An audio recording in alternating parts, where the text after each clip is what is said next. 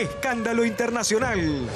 Mariana Nanis ahora va contra su hijo Alex. Es por la ejecución de expensas en el Faena.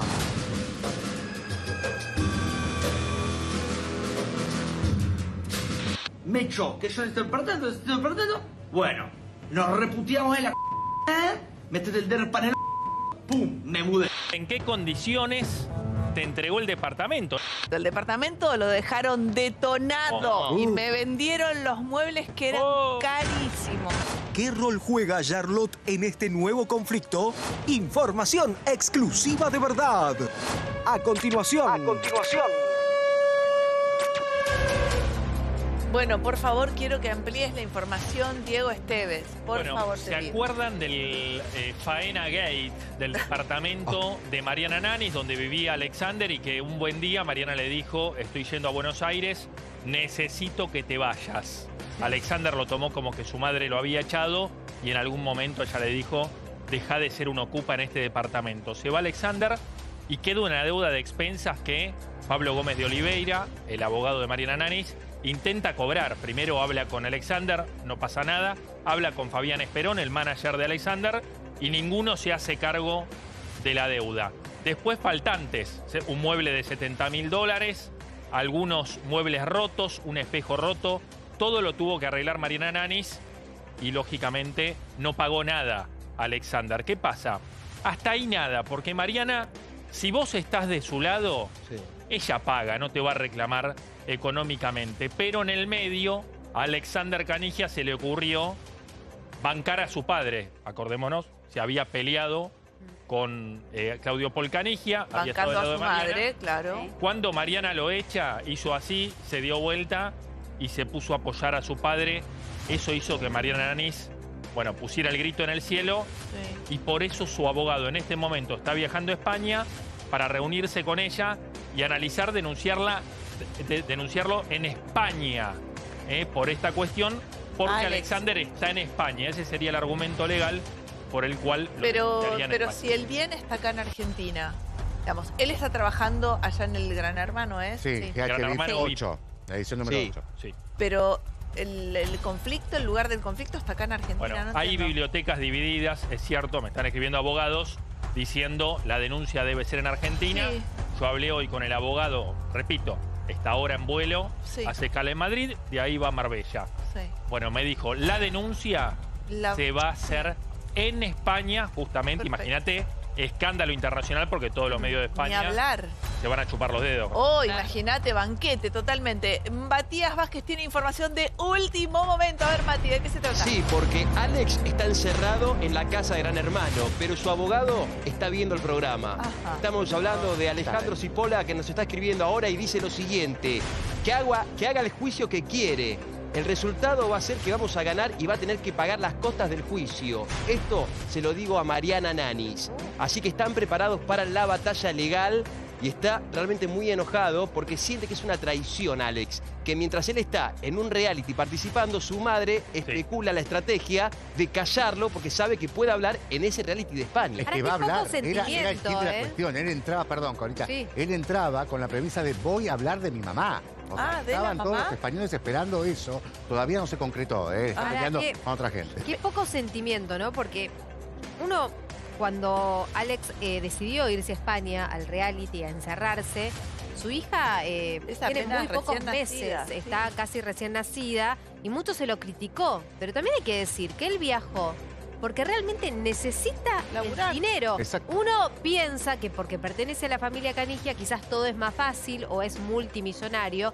Sus padres sí, los chicos no. Sí. De hecho, dependieron mucho tiempo de sus padres, los hijos.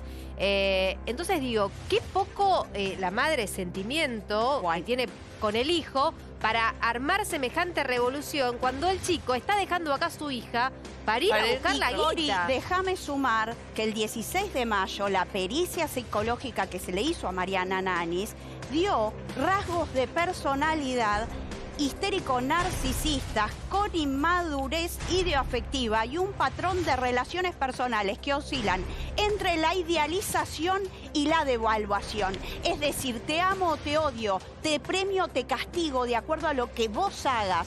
Si me beneficias te amo y si no te castigo. Entonces esto se ve claramente en este vínculo que tiene con Alex. O sea, es tremendo pensar que una madre puede tener esta actitud, pero lo dice la pericia psicológica del juicio, en donde le dio esto y una, una Y madre pericia- narcisista. Pero esta, esta pericia, eh, Dani, se hizo para el juicio contra Canigia. Exactamente, en donde Canigia, bueno, tuvo un resultado equi- equilibrado, sin ningún tipo de Ah. rasgo de personalidad eh, que, que pueda ser O sea que la patológico. pericia la liquidó un poco a Mariana. Tremendo. Entonces, esto es clásico de un narcisista. Bien, chicos, prepárense. ¿Qué pasó? Cuchillo y tenedor. Último momento, Diego Esteves, con más información.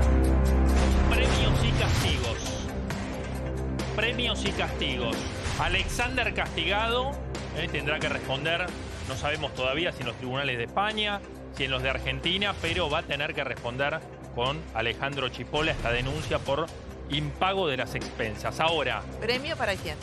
premio para Gonzalo Nanis. Epa. Para su hermano. El hermano de Mariana Nanis, el polémico, Pero estaban a los tiros, ¿o no? Estaban a los- Hermano de Mariana Nanis. Apareció así como... Él va a recibir un premio porque, bueno, es el principal detractor, lo hemos escuchado mil veces de Claudio en Paul. América, defenestrando a Claudio Paul Canigi, ha dicho las peores barbaridades en televisión acerca de él.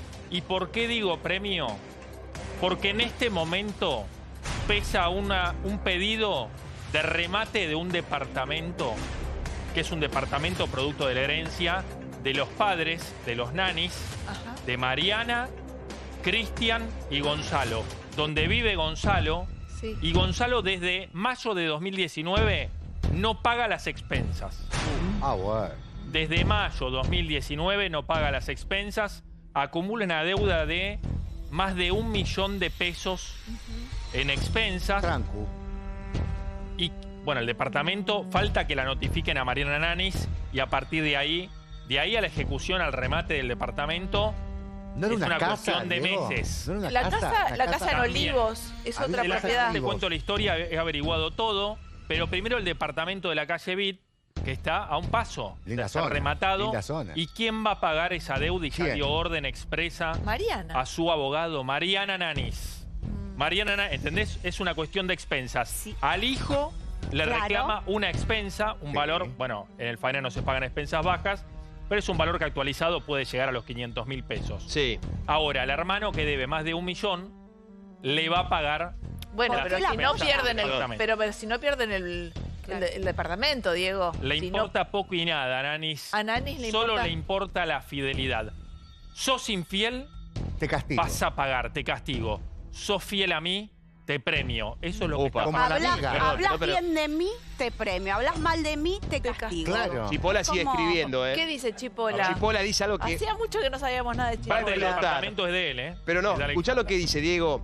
Tenemos las pruebas suficientes para demostrar que el departamento se dejó en excelentes condiciones. Sí. Y Alex va a mostrar esas pruebas dentro del reality. El departamento del Faena. Ah. Dentro del bueno. reality. Mirá qué inteligente Alex. Carigia. Pero puede llevar celular, ¿cómo lo muestra? No, no No, sé cómo él pasa. ya sabía un poco, por lo que me está diciendo Chipola, de esta situación. Cuando se metió en el reality se llevó una carpeta y esa carpeta tendría las pruebas suficientes para mostrar que Mariana estaría Ah, Qué mintiendo. provocación. Bueno, Así chicos, que, Mariana, que esta modalidad de está reality nominada. en España de VIP 8 eh, es, se usa algo que acá no se hizo todavía, que es, por ejemplo, pruebas Sí. diferentes y vos la haces y se va descontando algo de dinero del premio final. Ejemplo, a mí me dicen, tenés una llamada de tu mamá, ¿la querés aceptar? Si yo digo que sí, pensando individualmente, le quito ponerle mil pesos al pozo final y es como que no me importa a todos ustedes. Eso es lo que hizo Alex Canigia Ah. en GH VIP 8. Utilizó una videollamada Bueno, para pero- comunicarse con Melody Luz. Y bueno, pero Sí. era No solo, le come la no solo le come la billetera a Nani, sino también a, A A sus compañeros de Gran Su hija, está, bien. pero Es el un Los juego. compañeros el- tienen que entender. El pozo, no, no entendió nadie, eh, te digo que lo, lo odian. Ah, ¿lo odian? Ah, sí. estuvo nominado. Pero Alex es muy odiable, o sea, en un reality, Sí. Alex es muy odiable. Bueno, pero es un bueno, es un buen personaje pibe, también. Es un buen personaje pibe. muy colorido también. No lo van a, ¿Vos- no, vos no lo van a amiga de él? li- Yo No, soy no, amigo. para nada. No, no. Yo Para soy amigo, nada. ¿Vos sos amigo? Bueno, Ahí tenés. No, puede pero ser. a ver, es una persona que es sufrida. A ver, vivió una relación muy complicada desde chico junto con Charlotte Canigia. Las cosas como ¿Pero son. qué sufrida? Se te la Fueron pasa dos peleando hijos, fueron con dos todo el hijos. mundo. Pero Guille, fueron dos hijos que no tuvieron el amor de sus padres como tenía que Es ser. verdad. Ahí sí te acepto, te lo acepto. Pero en vez de dar amor, ellos dan Ah. no tanto eso, No, pero obviamente, me parece pero que ellos más- dan batalla. Mati, vos que lo conoces, Sí. dicen los que Son comparten con él quizás, eh, no sé, programas, trabajo y demás. Que es amoroso, un ¿no? personaje y que es un pibe bastante cariñoso, buena Es onda. muy solidario, ¿eh? Aunque usted no lo crea, es muy solidario.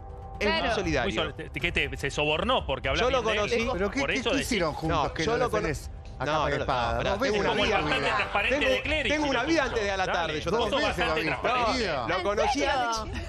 Lo, con- lo conocí, lo conocí a Alex en el año 2015 en un evento que organizó y la verdad me llevó una muy buena ¿Comiste sorpresa. pollo con papas con Alex? No, no, no.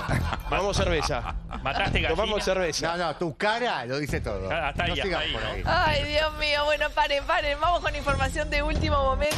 Diego Esteves, dale, Diego, vamos. Malas noticias para la familia Nanis. Ay, pero. Mariana, ¿Qué? como gran hermano. Mariana. Mariana. Mariana, Está. a trabajar. Alexander, a trabajar. Está trabajando. Charlotte Canigia, A trabajar. a trabajar. Gonzalo. Nanis, a trabajar. Y Cristian, que a Mariana no le guste que lo nombre, pero bueno, hay que nombrarlo porque es lo que corresponde. Cristian, Nanis, a trabajar. ¿Qué está pasando? Me acaba de llegar la información. Lo que preguntaba Guille Barrios recién. Yes. La casona de San Isidro. ¿Qué pasa con la Ah. casona? Alguna ¿Qué vez hicimos un móvil desde la Sí, casona excelente. que no sabemos si es Hermosa. ocupada, Sí. que hay versiones encontradas, Fue, pero fue Tucho que lo sacó la Fue- policía, fue ¿se Tucho, acuerdan? lo sacó la Sí. policía, una vecina que se quejaba, Sí, sí. ocupas que salían del interior, bueno, toda una trama desopilante, Sí. digna de un cuento de ciencia ficción. Bueno, Right. ¿qué pasó? Acaban de perder la casa. No. No. Lamento comunicarles, Al bueno, por suerte Alexander no se va a enterar porque está incomunicado dentro de la casa No, de, lo va a evitar de el- GH VIP. ¿Y cuál es la razón para perder de- esa propiedad? casa. Una casa preciosa. Divina. Una Ay, casa divina. La típica casa, me encantaría vivir en una casa. Levantarse ¿Pero a fue 7 de la tomada mañana la ese casa? balcón. Pero qué pena La casa no fue tomada y ahí está la respuesta de por qué Divino. se quedaron sin casa. Me acuerdo una vez que vino Gonzalo Nani, lo agarramos con un productor y nos dijo, yo voy a recuperar la casa. Sí. Sí. Lamento decirles que hay chance alguna de que recuperen la casa porque la casa en vida, la madre de los nanis vendió la casa. ¿Qué? Es la información que me llega. Perdón. ¿Qué? En vida vendió la casa, firmó un boleto, no sé qué problema había con la escritura, Sí. no se llegó a escriturar, pero un médico muy reconocido de San Isidro compró la casa histórica de los nanis. No hizo la escritura y aquí el conflicto. El médico no llega a escriturar, hace un juicio, no sé qué problema había, que la señora Nanis no quería firmar la escritura. El médico le hace un juicio a la señora Nanis. El juicio lo gana el médico. La justicia dice, escritúrese la casa. Días antes de escriturar, bueno, una historia trágica, muere el médico. Ay, no. ¿Tiene Dios. hijos el es una médico? novela. ¿Tiene hijos? Tiene cuatro hijos y una esposa tenía, ¿no? Cuatro hijas y una esposa. En este momento está la casa esa en sucesión, el boleto fue presentado dentro de la sucesión del médico, así que lamento decirles, por más de que peleen, que los nanis han perdido la casa histórica de la familia. La perdieron. ¿Por qué? Porque tienen el papel judicial, la familia del médico, de que la casa es de ellos. Ahora y la madre de Claro. los Ay, nanis nunca le por comunicó esto a sus hijos. O sea, ya la relación viene rara desde hace rato. O tal vez se las contó y ellos generación. hicieron como Bueno. que no existió la historia. Por Claro. eso también, no nos olvidemos que una persona por ahí un poquito narcisista elige creer lo que quiere la creer madre y creo va para que, adelante con que eso. murió creyendo que la casa era suya. No. La madre. Ese documento que había firmado, no sé qué... Porque Pero la terminan en un cobró la juicio. madre. ¿Llegó a cobrar o no? Terminan en un juicio. ¿Pero lo cobra la madre? Bueno, desconozco. Y no bueno, era una buena sí, relación con Mariana. No era una buena relación con Mariana. Hay una anécdota que tiene que ver con el bailando. Cuando en su momento tanto Alex y Charlotte estaban participando y los abuelos, los papás de Mariana, quisieron conocer a sus propios Sí, nietos. señor. ¿Por qué? Porque no tenían relación. ¿Esto qué significa? Eso que le va a doler a Mariana, Nanis lo que vas a contar. pe- ¿eh? pero es Pero la es verdad. cierto. Le va a doler, no le gusta me que lo, me lo dijo I'm eh, una persona muy cercana a Alex. Canigia. Sí, que los padres de Mariana Nanis no tenían relación con su propia hija porque estaba Mariana peleada a muerte con sus padres. Sí, es una Entonces, historia que se repite. por lo tanto, no conocían a sus nietos.